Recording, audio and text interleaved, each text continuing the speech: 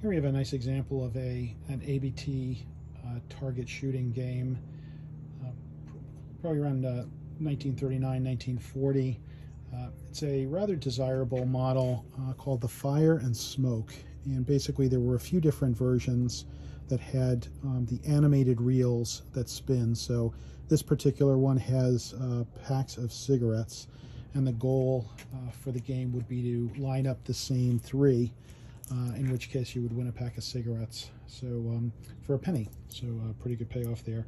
Um, yeah, there were some alternatives that had uh, red, white, and blue colored uh, targets. That was a little uh, kind of a patriotic themed, and um, there were some other derivatives off of that as well. But um, the neat thing about it is it's a, an entirely mechanical kind of a clockwork inside that's driven by a spring.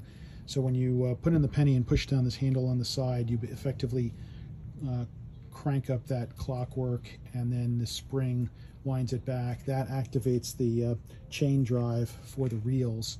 And there are three larger targets inside that uh, you aim for to try and hit the, the those targets and then stop the uh, rotation of the, uh, of the reels. Let's go ahead and play it.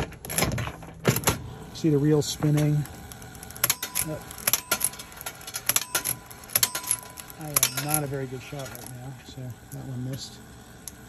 It was five shots for a penny, so give it a shot. And there's one. Ah, didn't hit any more. Let's try once more, see if we can get one of the right or left ones.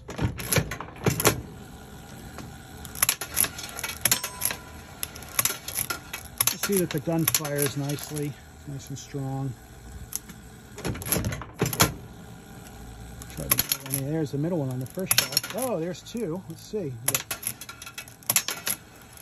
Ah, didn't get it, but uh, we did get two out of the three.